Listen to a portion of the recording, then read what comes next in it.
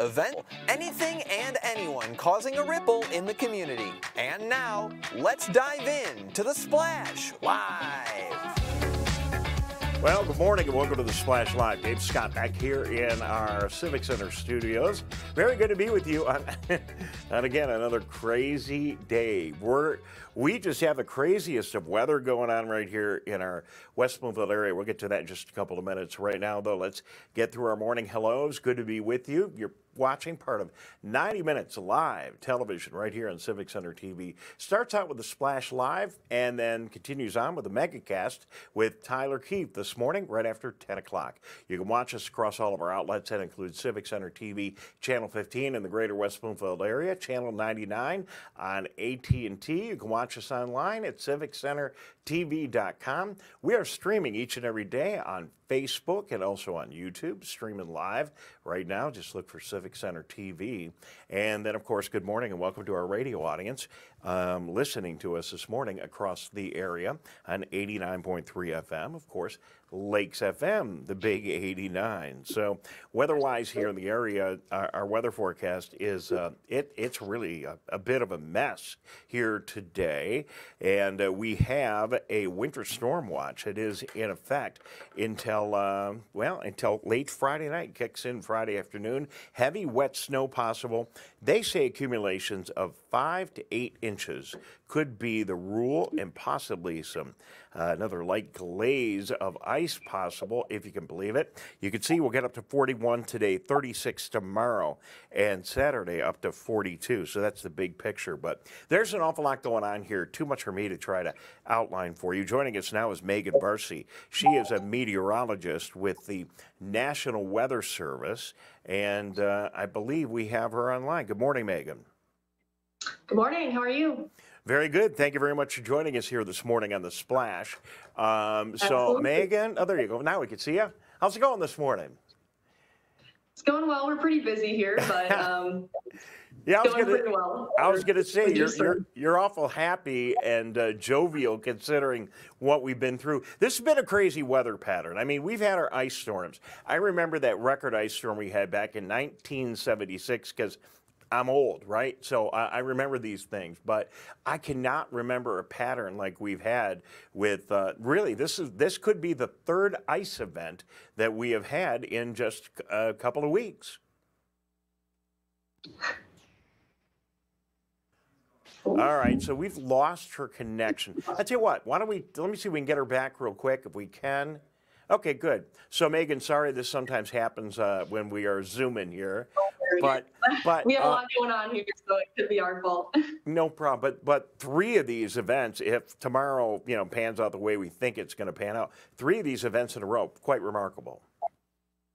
Yeah, absolutely. It's certainly been an active uh, week or so, especially given kind of a, a fairly quiet winter so far. Well, it really has. And uh, tell us what you know about this storm because we're all concerned. It's you know it's Friday. We got to travel around.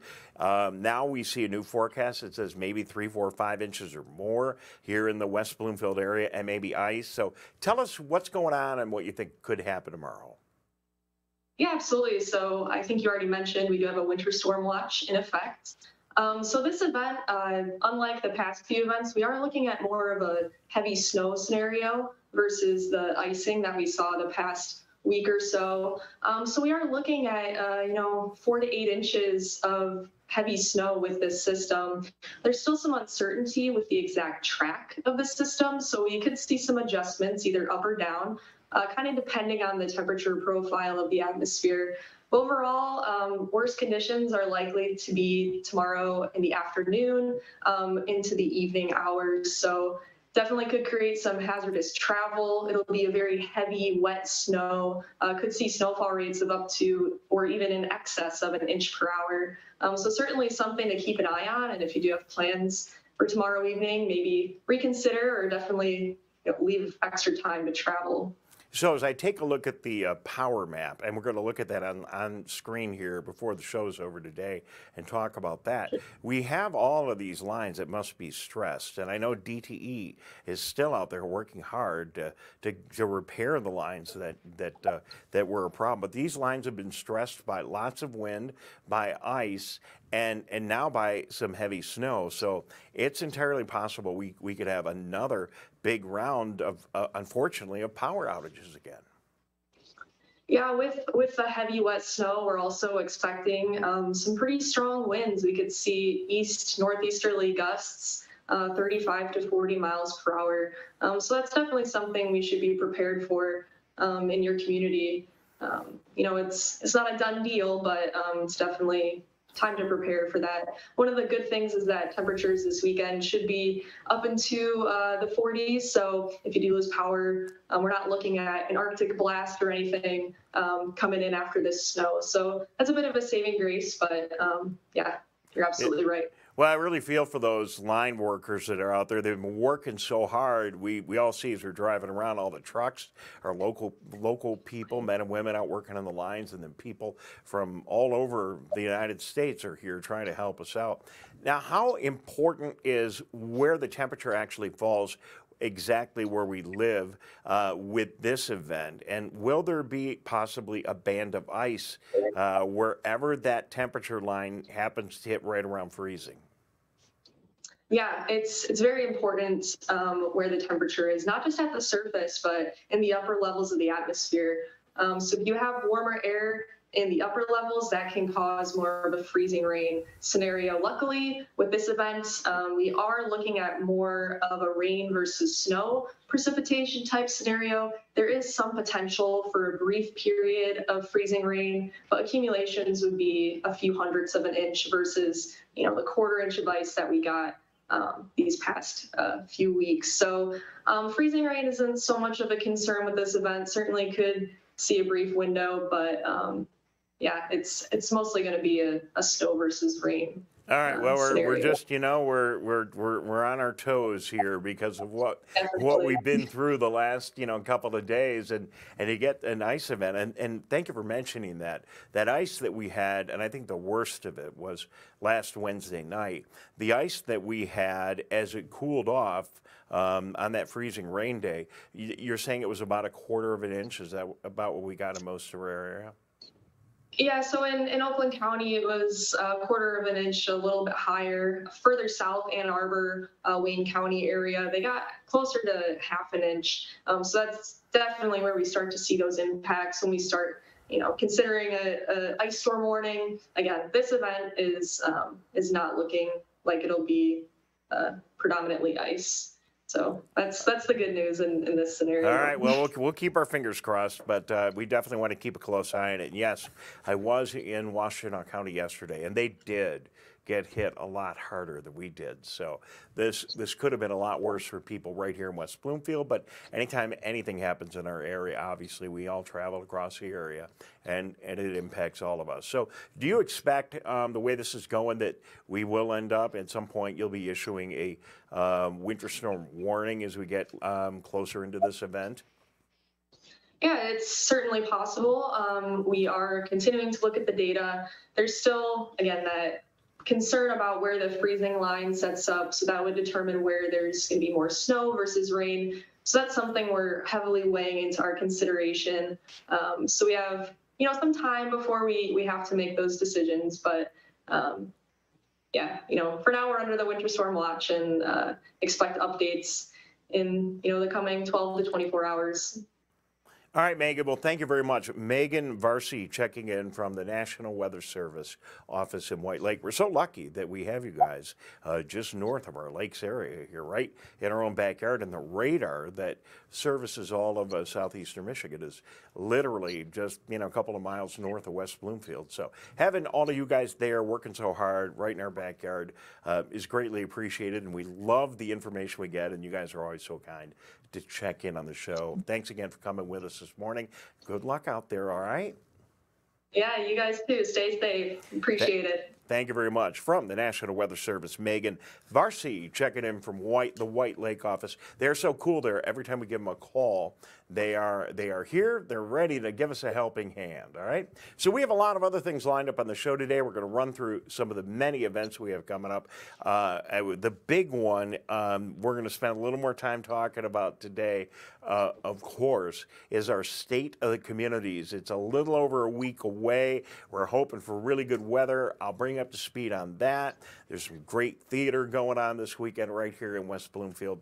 And, uh, and then we're going to do something a little bit silly, I think, if it all comes together, and uh, do our greatest job to uh, make our greatest effort to do a uh, to do a tribute to the, the line workers that have been out there making the power, uh, keeping the power on, even if it's a little bit embarrassing for the host of the show. So that and a whole lot more coming up. Thank you very much for tuning in. This is the Splash Live. We'll be back in just a minute with more. I'm Dave Scott. Back after this. We'll be right back with the Splash Live.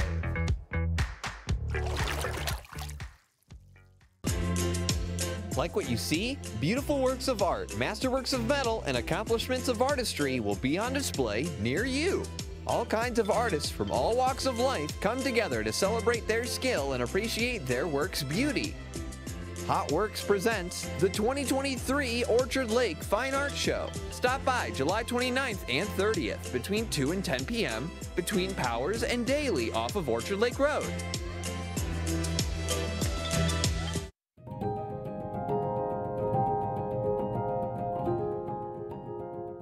I'm Steve Yzerman of the Detroit Red Wings, and I think every child in Michigan deserves a safe, healthy, and happy childhood. Can we build a state where Children Trust Michigan isn't just a name, but something our kids believe? Please support Children Trust Michigan as the voice for children and families by visiting the website to learn more.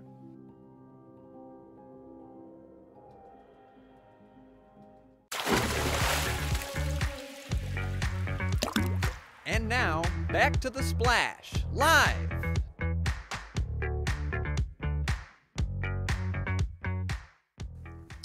Well, good morning and welcome back to the Splash Live. Dave Scott here in our Civic Center studios. Again, weather to be concerned about. Uh, so we'll have a, a continue to update on that on our civiccentertv.com ice page that we put in the last couple of days just to get you through all the storm activity. You can go to civiccenter.com slash ice for all of the information. Jared, it sounds like you've got my echo in there. Just want to let you know you might want to get rid of that. So uh, the Nicely Theater Group, um, and that is out at the Berman Theater, presents The Drowsy Chaperone, a musical comedy that pokes fun at musical comedies and features a tipsy chaperone, a flighty bride, gangsters, and a monkey. It sounds crazy. It's all going on at the Berman Center for Performing Arts at 6600 West Maple Road, West Bloomfield Township. It's the Drowsy Chaperone, a light and breezy show. Hopefully you'll like it. There's the web page. A lot of fun. Um, we invite you to get out there Berman Theater this weekend. Um, you're going to want to give them a call if you want to get tickets.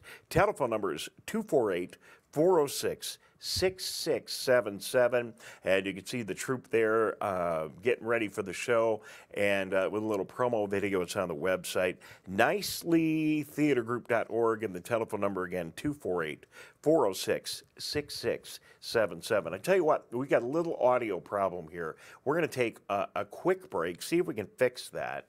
And uh, we'll be right back. It won't be long. Back in just a moment, right here on Civic Center TV. We'll be right back with the Splash Live. Watch Civic Center TV with our brand new live captions. To turn on live captions, go to civiccentertv.com and click Watch Live. In your web browser, click on the Options tab in the top right and find the Accessibilities tab. Then just switch on live captions to heighten your enjoyment of our local programming. Thank you so much for watching Civic Center TV.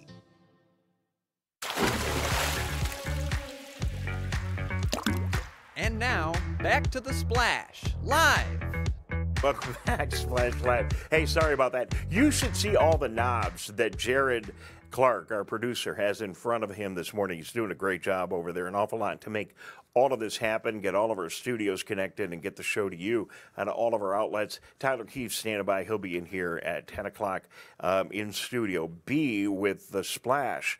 The West Bloomfield Chamber of Commerce Health and Wellness event is uh, going on. It's great. It's a wonderful event. 14th annual health and wellness event at the West Bloomfield Township offices, June 14th, um, from 11 until 2 o'clock. 40 businesses will be uh, be at Town Hall and organizations involved in health and wellness of our community will offer information, promotional items, and personnel to answer all kinds of medical questions that you might have.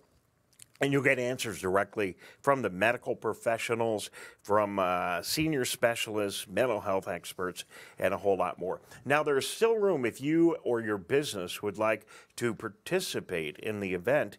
And uh, if you're an expert, you've got some something you want to share with the community, a lot of uh, additional information about uh, the medical industry or what you do and how you help people, get a hold of our good friend Suzanne Levine at the Greater West Bloomfield Chamber. She puts on this event every year, and there is still room for you. Telephone number is 248 626 3636.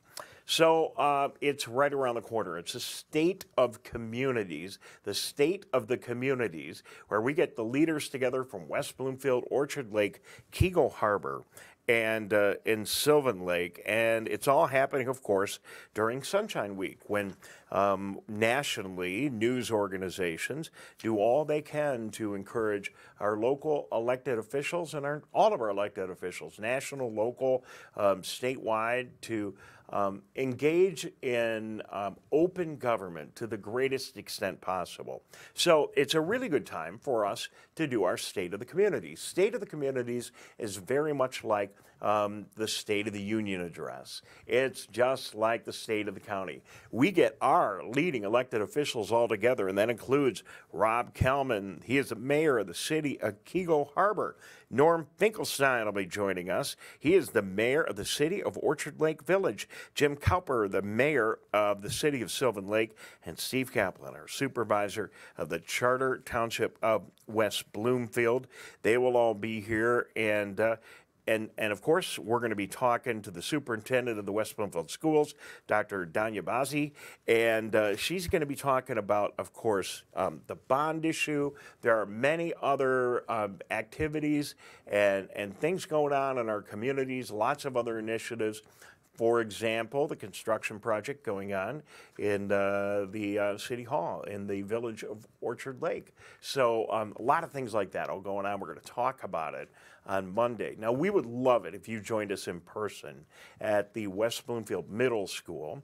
It's going to kick off at 7 o'clock, and this is a week from Monday, Monday the 13th. I think that's a lucky day. If it's on Friday, not so lucky. On Monday, no problem. It's Monday the 13th at the West Bloomfield Middle School. It all kicks off at 7. You're invited to get there a little bit earlier, and, uh, and, and then you'll have an opportunity to um, see the presentation, hear what's going on in all of our communities, mingle and get together with all the elected officials from all of our communities, and uh, should be a lot of fun and very informative. And I hope a uh, evening that you find will be um, an investment of your time that is worthwhile.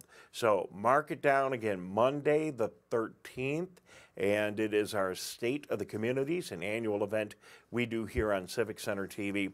Now, we really hope that you come and join us in person, but if by chance you cannot make it, we'll have it all live on Civic Center TV. We'll be streaming it on all of our outlets, and then again, we'll have an opportunity for you to listen on the radio, watch it on the web, and uh, tune in everywhere. State of the Communities coming up the 13th on Monday, a week from Monday. All right, we're going to take a break. When we come back, it's going to be a little silly. We'll do our, the very best that we can, but we got something lined up for you today. And uh, it's a tribute to all of those that have been working so hard the last week or so and uh, doing everything they can to keep your power on, to keep your lights on, to keep your heat on. The, those line workers that are out there have been doing an amazing job. We've got a tribute for them and an update. Uh, we'll take a look at the map, uh, the power map, before we get into that uh, when we return. We're going to take a quick break and we'll be back. Good morning. You're watching The Splash right here on Civic Center TV. Back with more after this. We'll be right back with The Splash Live.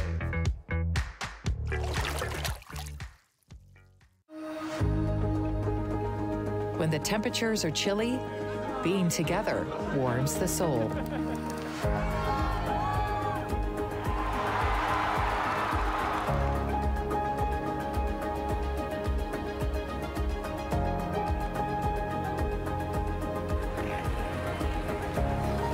Winter fun going. Help protect yourself and those around you by keeping your COVID 19 vaccines up to date What's happening around you? Hear about state events, businesses, and from the people behind them on the MegaCast, an hour long TV, radio, and streaming show keeping you informed on the day to day news. Listen in on talks with volunteer groups, documentarians, and financial advisors, Monday to Friday with your host, Tyler Kieft. Catch the MegaCast weekdays from 10 a.m. to 11 on Civic Center TV, 89.3 Lakes FM, and streaming on MyMyTV.com.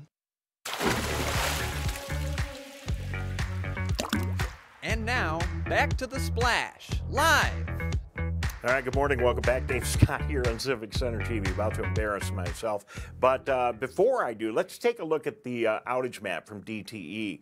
And there, as you can see across Metro Detroit, there are still a number of people that are without power. In Waterford Township here, you can see there's an area there with 162 people without power. Um, in, uh, in other areas of Oakland County, lots of places with over a thousand people without power. Areas up north of Waterford with some areas there with hundreds of people without power. We'll zoom in. I've not looked at our West Bloomfield map here in the last day or so, but you could see that we still have plenty of areas with uh, some very small isolated uh, power outages. And if you're at the end of a line and you, you don't have your power, uh, it doesn't matter if you're only one person on the street without power, or it's like you're down here in Bloomfield Township where there's 186 people are here up north of Keego Harbor where there's 25. It doesn't really matter how, how many people there are. If that's you, that is a bummer. But I want to let you know the linemen are doing everything they can here to uh, to make this thing better. And uh, in light of that, we're going to take a swing at this, see how this goes. In light of that, um, I wrote a little song. And it is a parody of the old Glen Campbell song, Wichita Lineman. Let's see how this goes. We're going to do this live. This is not going to be pretty. I really don't sing. But. but uh, I just wanted to thank the DTE guys. So um, here we go. Have a little fun. We'll see how it all rolls. Ready? You can roll it. All right. All right. Very good. Let's get to that B roll, Jared. All right. Here we go. I am a lineman in Oakland County, driving down Maple Road, fixing stuff the weather made explode. I didn't say my singing was going to be good. Now your lights are bright and shining all across our great zip codes. And the DTE linemen, they're coming right down your road. That was really a high note. That's gonna hurt me. I'm gonna need a small vacation after all this freezing rain. But the snow and wind and ice are forecast once again. Darn, those lights just started blinking. Once again, no heat. That's such a pain. But the DTE lineman is still on the line. Again, that is a hard note to hit. Well, I don't know if the singing is really helping out the guys at DTE, but I just want to say thank you. You can see them on your screen. They're working hard. They've been out there cutting on those trees, climbing up on the poles, working 14, 15, 16, 17 hour days. Absolutely amazing. I need power more than ever. Cause I gotta get online. Gotta check out that Civic Center site, get info. So to the DTE linemen, West Bloomfield thanks you for your time. Hey, thank you for your time. Even if we can't hit the notes, we thank you very much for all you're doing. We really appreciate it. That is hard work. And without you guys out there, we would be in a bigger mess than we are. So big thank you to all of the all of the guys in the road crews that are out there all across our West Bloomfield area and especially all across Metro Detroit and across Ann Arbor. So um, thank you for allowing me to sing here on TV. Sorry, I'm certainly not a vocalist, but again, I, I just wanted to thank those guys. It's it's so amazing, and you know, we just kind of harken back to that storm that we had in 1976, where we got the kind of ice that they've been getting in Ann Arbor um, the past week or so, and really quite a mess.